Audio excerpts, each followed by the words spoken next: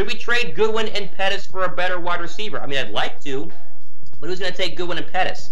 Like they, they basically didn't play last year, and Pettis has shown he's pretty much garbage. Same with Goodwin. Well, I mean, well, not, not, it's not like you can trade Pettis and Goodwin and get a massive upgrade at wide receiver. No team is going to make that trade. So maybe you trade him for like late round draft picks, but overall, I don't think it's going to happen. Um, what was a good question? Dane Ryan, 49ers. Is Jadeveon Clowney a possibility?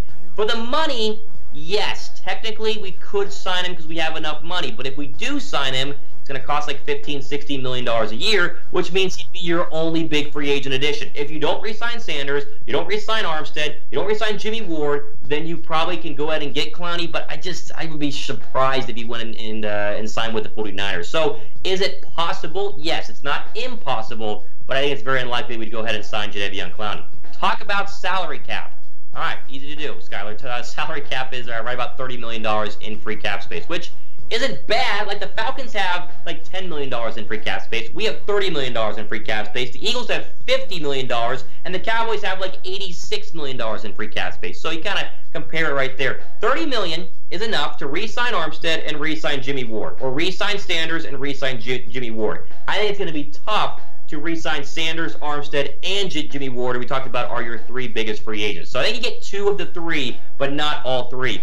Danny, great question. We thought you guys would ask this, so we actually have some graphics for you here as well. Any update on Jerick McKinnon? Well, those of you guys who remember, Jerick McKinnon signed a massive $30 uh, contract uh, with us a couple years back. Hasn't played in two years. Tore his ACL again this past year, but as they all assured us, he's going to be ready to go for this next season. Here's the deal, though. If you cut him, you save six and a half million dollars towards your salary cap. You cut him before April, before April 1st. Six and a half million dollars towards the salary cap, which is pretty good. I mean, like, look, these are stats from 2017: 150 carries, 570 yards, three touchdowns. Like, this is a guy who was going to be a really good running back and has been injury plagued. And once you've been injured like this, unless you're Adrian Peterson, you can come back and play to your 35 with multiple knee injuries. It just doesn't make sense to go ahead and keep him at six and a half million dollars. Six and a half million dollars would probably be pretty close to what Jimmy Ward is going to want in free agency. You see this ankle, toe, hamstring. I mean, there's a ton of stuff that has happened. I mean, more like knee in 2019 in terms of Jerick McKinnon's injury history. So if it was me, I would cut him. But they have said that he's going to be good to go. So if they really want to keep him, then, you know, they can go ahead and do it. But I would cut him. What do you guys think? Let me know in the comment section down below. Should we cut Jerick McKinnon, yes or no? Because, again, you have Coleman, you have Breida. I mean, like, yeah, you have Jeff Wilson Jr. He's a fan favorite. They should be okay at running back. And uh, for six and a half million bucks, I would rather cut him than pay him just to see him get injured again. We don't want him to get injured, right? We don't want him to be injured, but at the same time, with multiple knee injuries at a running back spot is very, very difficult to uh, come back from overall. All right, I reminded you of, you of you this earlier, but if you ignored me and you still have not gotten your special someone flowers, I'll remind you one more time, and then if you don't do it, it's not my fault. You're going to be in the doghouse. Look at this stuff. 15% off flowers and gifts, chatsports.com forward slash flowers. Links in the description. Just Google it after the video is done. Most of them will still be 15% off right now and will still be delivered by tomorrow because tomorrow is Valentine's Day. I'm just trying to help you guys out. Right? You really want to sleep on the couch tomorrow? I mean, if you want to sleep on the couch tomorrow, that's between you and your wife or your girlfriend or whatever. But if you want to have a great Friday, this is a great way to do it. Chatsports.com forward slash flowers. 15% off flowers and gifts overall. Do it! I'm telling you guys, do it. David, right here, you should do it, all right? I'm expecting you to be uh, to, to, to, to do well towards your special someone tomorrow night. David uh, asked, should we trade Solomon Thomas, Pettis, and picks for a second or third round pick? I'd actually be okay with that. Because the Niners don't have any picks on day two. I mean, no second, no third, no fourth. I think they start having fifth, sixth, and seventh. Like it's brutal in terms of picks. You might as well not even watch the draft on day two if you're a Niner fan because the Niners aren't going to be there unless you trade back in, like you know, right here with Solomon Thomas or Pettis or picks. Um, I don't know if Solomon Thomas and Pettis would be enough for a second. It could be enough for a third, maybe a fourth. We forget, like Solomon Thomas, rotational backup defensive tackle, and Dante Pettis didn't play last year, so it's not like we have these amazing trade pit, trade potential to go ahead and get some draft picks. But I, I mean, I if a team would take it, we need the picks, so I'd be all for it. Okay, who would be some realistic options at O line, wide receiver, and cornerback in the draft? So wide receiver, if you're waiting towards the end of the first round, a guy like Jerry Jeudy, if he can get past Philadelphia at 21, makes a ton of sense. Now, uh, sorry, not, not, not Jerry Jeudy. I meant Henry Ruggs. Jerry Jeudy is going to be the first wide receiver taken in the NFL draft out of Alabama. Uh, the guy from Colorado is really, really good. I forget his name. Henry Ruggs is really good. Justin Jefferson. There are a lot of good wide receivers, but if you want one that will be there if they get past Philadelphia at 21, because Philly most likely taking a wide receiver, it would be a guy like a Henry Ruggs, who's an absolute burner on the outside. Would love to get him overall. O line, cornerback. There's some good corners out of Ohio State, but they're just not going to be there at 31. So you kind of got to, you know, look around to kind of get the best player available. Would 49ers go after Amari Cooper and give him and trade McKinnon? Okay. Um, I, I don't think they're going to go after Amari Cooper just because of the cost. He's going to be the most expensive wide receiver in free agency, and I just don't think they need a I don't think they need the most expensive wide receiver. Now, AJ Green's not going to be that expensive. You know, Robbie Anderson, not the most expensive. That makes a little bit more sense. You can go after Cooper if you want. I don't think they will. And in terms of trading Jerick McKinnon, you're going to get like, what, a fifth or a sixth in return? The value is not really there. I'm sure they'll try to, but if their teams know they're just going to cut him, then they'll just cut him, right? So then they'll just sign him for cut him. Is Aldon Smith an option? No, Christy. Aldon Smith is not an option. How dare you? No, not not, not a chance. No, the whole Aldon Smith stuff. Not. Uh, you think Reuben Foster's available too? No, no, no. Move on. Is AB available, Vance? Come on, come on. You know, technically, he's on his apology tour right now. He's been apologizing to the Steelers and all this stuff. Do you really think he's going to get reinstated? I don't. I don't. Now, if he was reinstated, I still wouldn't want him. Would 49ers go after Josh? Jeez, we're just going to throw all the suspended guys out here for us to sign? No, we don't want Josh Gordon. Not going to happen. Um, Trey McKinnon, again, it's unlikely. Uh, Antonio Brown Josh Gordon, yeah, you put Aldon Smith in there, but that's ridiculous. But these, these disgruntled wide receivers who cannot stay in the league for more than a couple of games before domestic violence or weed or just being a clown, we don't want them on the 49ers. The Niners have a great locker room. None of these guys matter overall. Uh, then, here we go. Dez Bryant. It's like, it's like, it's like producer Harris is trying to get me these questions. Do we like maybe getting Dez? Okay, I'll say this.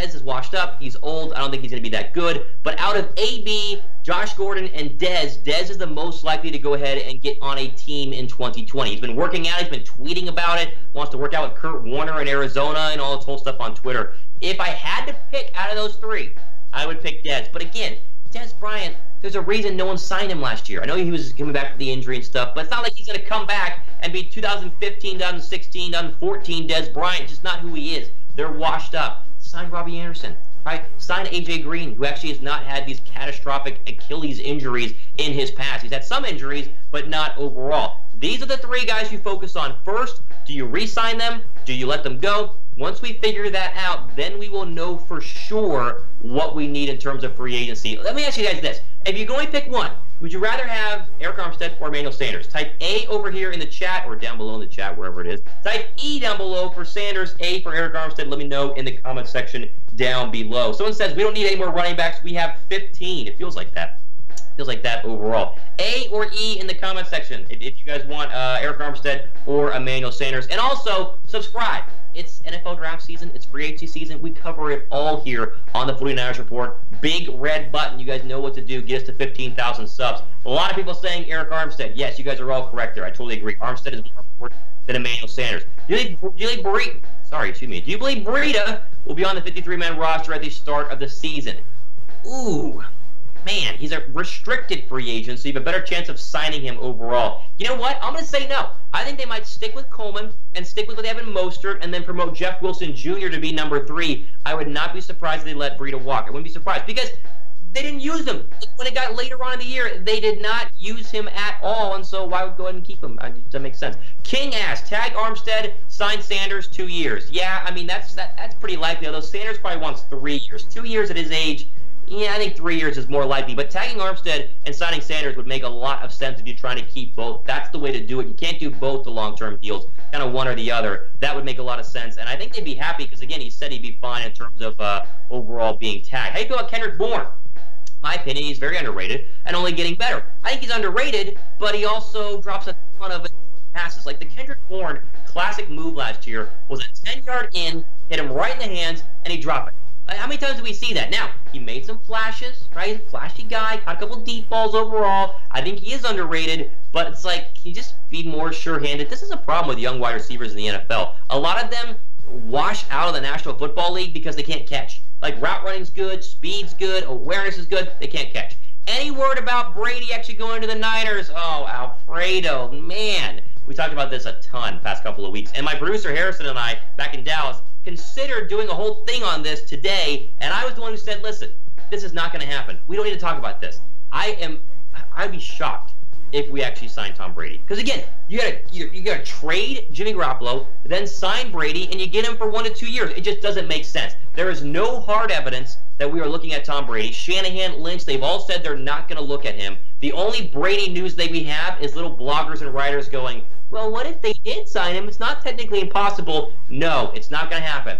There is a 0% chance it happens. If we sign Tom Brady, I will literally buy a 49er Tom Brady jersey and wear it on a show and, I don't know, pie in the face. I don't care, whatever it is. It's not going to happen at all. I, I, if I had money to bet with BetDSI and they let you bet on this sort of thing, I would legitimately bet all my money that we are not going to sign Tom Brady. Now, if you want to bet on normal things besides that, chatsports.com forward slash bet. Use our promo code 49ers. Get 120% deposit bonus whenever you first sign up. And if you want to bet on stuff, sports, you know, in terms of baseball and, and football and all that sort of stuff, go ahead and use our friends at BetDSI. 120% deposit bonus. You could bet on the Niners 2020 projected wins that you see right here, 10 and a half games. We think over under 10 and a half games. I'd say say over, right? I mean, maybe, maybe uh, 11. How about 11 wins for our Niners? It's too far though, man. I like it. Can't even think about the Niners 2020 season in terms of wins and losses. So we'll see though. What do you guys think? Over under 10 and a half? I think I think hopefully over as we get closer to the season. We'll see what happens in the off season.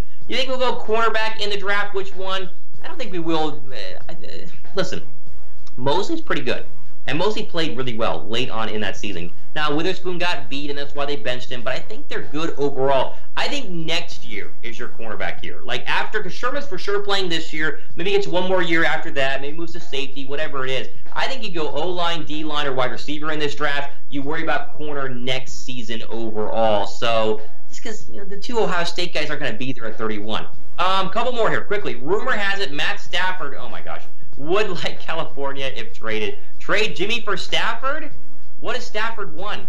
Like, is Stafford this elite quarterback who's just held back by Detroit, or is he just not that great of a quarterback overall? What do you guys think? I've, I again, this whole trade Jimmy Garoppolo stuff is ridiculous. And plus, why would the uh, the Lions, who have the third overall pick, trade Matt Stafford to us to get Jimmy Garoppolo in return, and then not draft him, not draft like Tua at number three overall? It doesn't make sense. No, does anyone really want Matt Stafford overall? Someone says Matt Stafford sucks. Someone says he's a better thrower. Um, again, if he's really that great, he'd have more than one playoff start where they lost at Dallas like a couple years ago with Detroit. Like Detroit has had decent talent around him, and he's never fully elevated them to a playoff spot. Like Carson Wentz and the Eagles, who's a much better quarterback, was throwing to lawn chairs and like desks for his wide receivers last year, and they still made the postseason. Detroit, even with Matt Stafford, they can't seem to even get in there except for one year, and they had Megatron for a long time. Okay, uh, Tony B, couple more. Could we trade for Joey Bosa this season, considering he has one year left, has already said he wants to play with his brother, making the other teams less likely to chase him?